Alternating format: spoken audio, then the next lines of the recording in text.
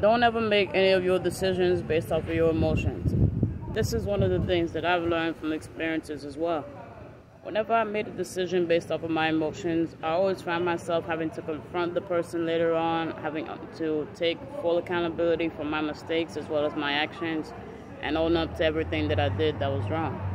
Not only that, but sometimes I had to apologize for my mistakes as well.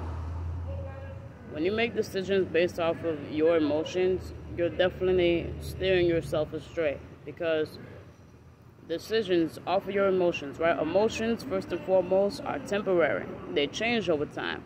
One day you could be feeling very good because everything's going your way, everything's going the way that you expected. The next day you might have had a couple of bad experiences with people and your day not going so well. So never make your decisions based off of something that's temporary which is exactly what an emotion is. Make your decisions based off of the wisdom, the knowledge, and the intelligence that you have learned over the years from your past experience, from the experience of others, and in general.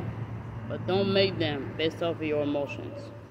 Because later on, you'll realize that you'll be regretful for making that decision based off of your emotions and that it'll be something that you'll have to go back to and try to fix or try to make up for. Lot of people not actually willing to do that. So choose wisely. Make your decisions properly.